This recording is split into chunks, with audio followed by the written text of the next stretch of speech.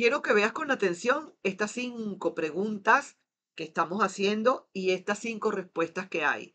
A ver qué respuesta te puede estar eh, eh, cuadrando o qué respuesta te pueda estar resonando, ¿de acuerdo? Así que te invito pues con amor, cariño y respeto a que mires este video. Como te leo el tarot gratis. Hola, hola, ¿cómo están todos? Este video está dirigido a todas aquellas personas que han hecho preguntas y preguntas y me atreví a escoger cinco buenas preguntas para ustedes.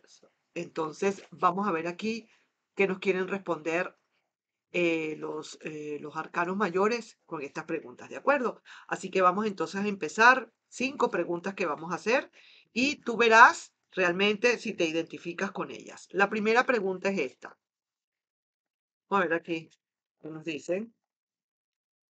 Vamos a doblar así porque como son grandes los papeles, entonces tengo que doblarlas. Dice que ya te olvidó y que, ser, y qué será de cierto eso. Dice que ya te olvidó. ¿Y qué será de cierto eso? Es que en verdad esta persona te olvidó. Vamos a hablarlo con toda la claridad del mundo y vamos a responderlo de una buena vez, ¿ok? Así que vamos entonces a ver si la respuesta es sí o no, si de verdad te olvidó o no te olvidó. Así que en el nombre de Dios, vamos a ver si realmente es así. Quiero ser muy clara y concisa y precisa, ¿no? Porque son preguntas claves, preguntas que no tienen, no tienen vuelta, no, no, no tienen mucho matiz, o sí o no. No, esta persona no te ha olvidado todavía. Esta persona no ha olvidado. Está queriendo olvidar, es cierto. Está buscando, luchando, no fluye. Una persona que quiere como venir, pero luego se devuelve. Una persona que pone su, su, su GPS o su GPS en su vehículo para venir a buscarte y de repente se le daña. Una persona que se les picha un, un neumático, una persona que se encuneta. Eso energéticamente hablando, quiere volver o quiere o de repente le dan, le dan ganas, le provoca como acercarse, pero luego se devuelve. Eso es sencillamente que su carro energético no está fluyendo. Pero la pregunta precisa era, ¿será cierto eso que te olvidó? No.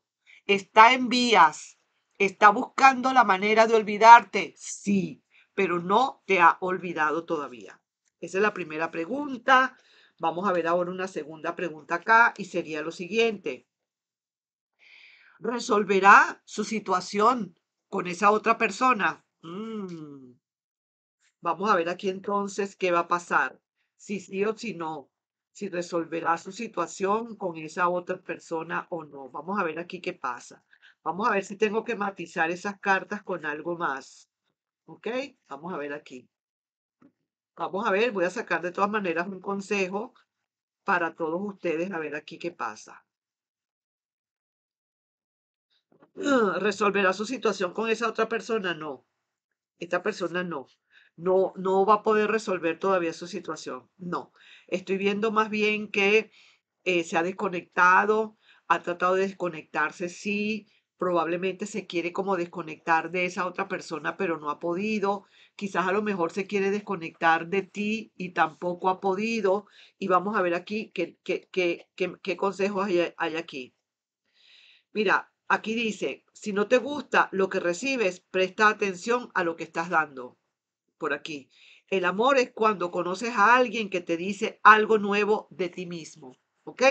Así que estoy notando por lo que me, lo, por lo que me está saliendo y por lo que puedo interpretar con estos consejos, es que esta persona no está resolviendo, ya la carta me lo dice, no ha resuelto todavía nada. No se le ve querer resolver no ha podido quizás resolver, aunque quiera hacerlo, ¿cómo decir? ¿Cuál es el resultado? El resultado que queremos es que resuelva. A lo mejor quiere, pero no puede. Ahí es donde está el detalle, así que no ha resuelto. Vamos a seguir sacando otra pregunta más y vamos a ver aquí esta pregunta. ¿Me convendrá esta relación que tengo ahorita? Vamos a ver aquí con uno un mensajito canalizado Vamos a ver con un mensaje canalizado y también con otro mensaje que te voy a sacar por aquí. Otro mensaje aquí que dice, sé tú mismo y haz lo que te gusta. Ajá. Cuidado con que esa persona resulta que quiera controlarte todo o toda y resulta que tú no puedas ser tú mismo. Ojo con eso. Para aquellas personas, mucho cuidado con lo que con lo que te acaban de sacar, con lo que te acaban de dar como consejo. Vamos a ver aquí, sacamos primero esta carta y dice la rueda de la fortuna, suerte y momento oportuno. Te están diciendo que sí hay posibilidades, pero que también tienes que poner tus reglas. Lo que te quieren decir esto, esto junto con esto, es que de una vez pongas tus reglas para que esta rueda de la fortuna se pueda dar como tiene que ser. Hay posibilidades de que esta relación sea para ti por destino, por ley divina, pero también, pues ya, guerra avisada no mata soldado. También te están diciendo, sé tú mismo, sé sé completamente transparente, sé, no, no, pongas máscaras, eh, sea lo que sea, de, eh, como tal eres, eh, tu personalidad ante nada y si esta persona realmente le conviene así, muy bien, y si no, nada. También tienes que ver que tú tienes que ver que esa persona sea también ella misma, que no haya, que no venga con, con, con disfraces, lo mismo que te están diciendo a ti, es lo mismo que le podrían estar diciendo a esa persona o lo mismo que te pueden estar diciendo para que tú cheques bien a esa persona. Y sí, esto puede ser por rueda de la fortuna que venga y puede ser el momento oportuno para ti, pero tú no te puedes dejar, tú no puedes dejar que verdaderamente esa persona pueda controlar. Tú tienes que ser tú mismo o tú misma y tú también tienes que descubrir en esa persona lo que es esa persona de verdad. ¿ok?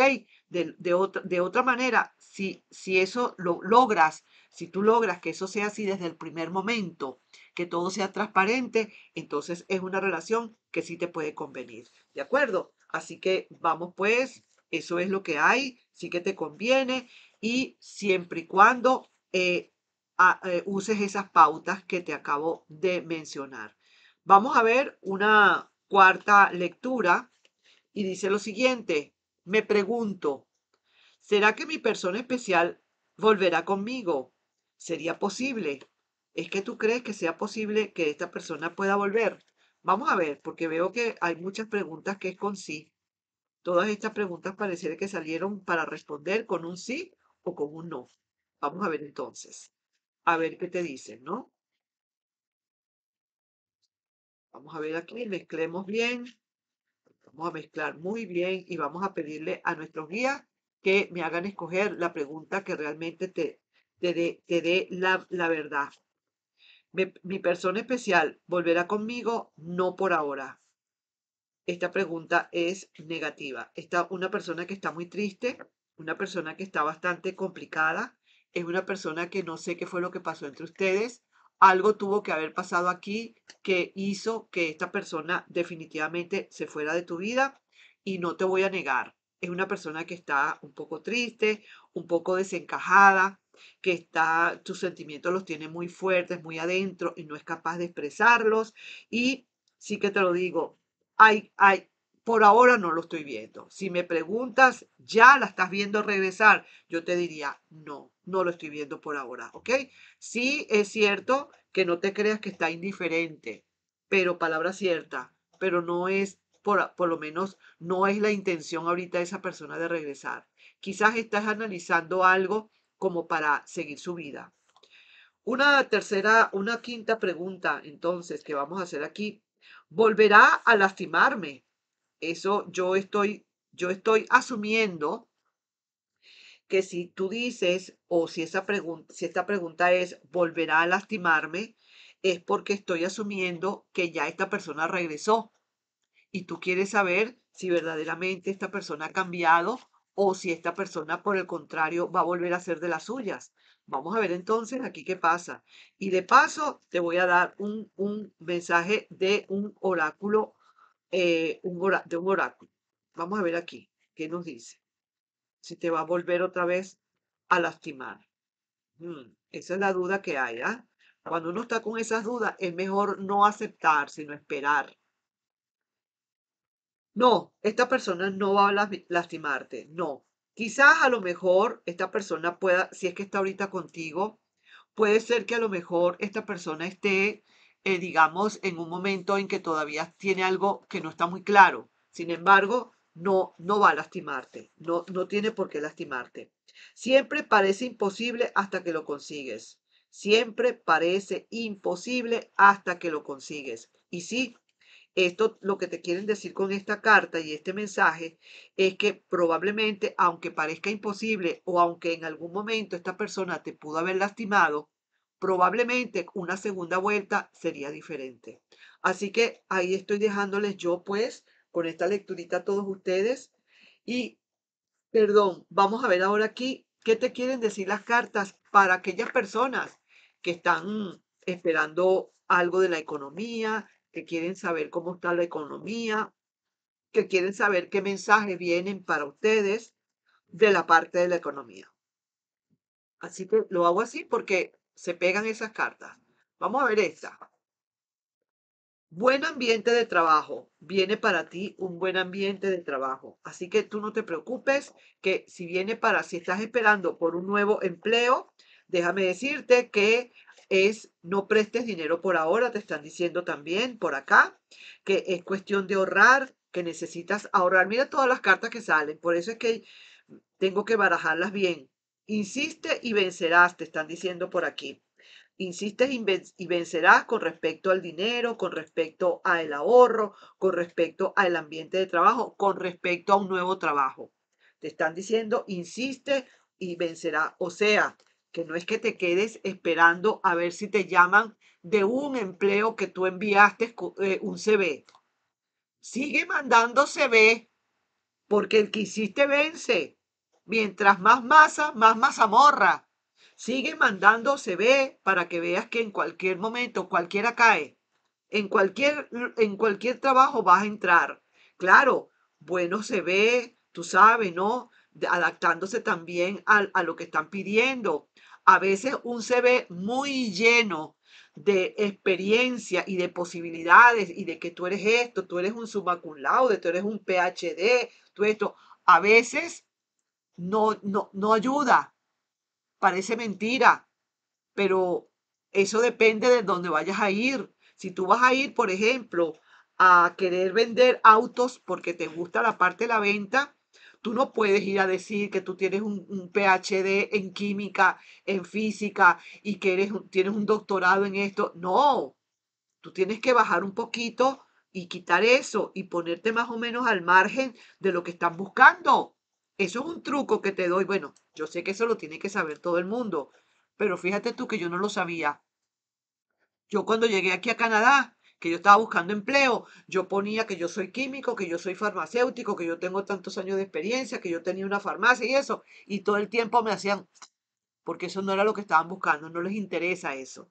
A ellos les interesa un cierto, que, porque al, no es que no les interese, pues, no es que me lo vayan, me vayan a por debajear con eso, sino que entonces yo estoy aspirando un sueldo grande y ellos le da no, no van a perder el tiempo en alguien que tiene una experiencia requete contra máxima en muchísimos campos porque saben que no voy a aceptar el dinero que me vayan a pagar o el sueldo que me vayan a pagar según ellos. ¿Estás entendiendo? Hay que ser esa lógica. Entonces te están diciendo, insiste en mandar muchos CVs.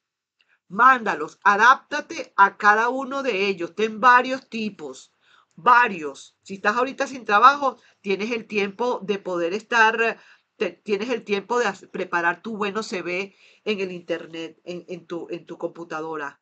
Hazlo dependiendo de a dónde vayas. Hay que adaptarlos dependiendo a dónde estés tú buscando. Ahora, si tú tienes ya algo previsto, que tú lo que quieres es ir a una industria farmacéutica, por ejemplo, ponle tú. Entonces, claro, te tienes que enfocar en eso y nada más pero hoy en día uno tiene que tener como cierta variedad, como decir, un plan A, un plan B, un plan C, a, todo antes de quedarte sin trabajo por bastante tiempo, ¿cierto? Así que eso es, para mí, es un buen consejo. Cuestión de ahorrar, tienes que ahorrar, no prestarle dinero a nadie por ahora y, por supuesto, pedirle a tu ser interno que lo primero que te consiga en un trabajo sea un buen ambiente de trabajo. Ahí dejo eso entonces. Vamos a ver ahora las cartas para los angelitos, qué número te pueden estar mandando. Y ese numerito también lo puedes buscar en Google o en el Internet, donde tú quieras, para ver qué significados también tiene ese número. Así que vamos a ver aquí. Vamos a ver aquí, ¿qué, qué número? Uy, el 00. Vamos a ver qué dice este número 00. Dice, se llama el observador o u observadora. Yo soy observador u observadora. Los ángeles piden su atención. Abra los ojos, escuche y piense en todo lo que está sucediendo.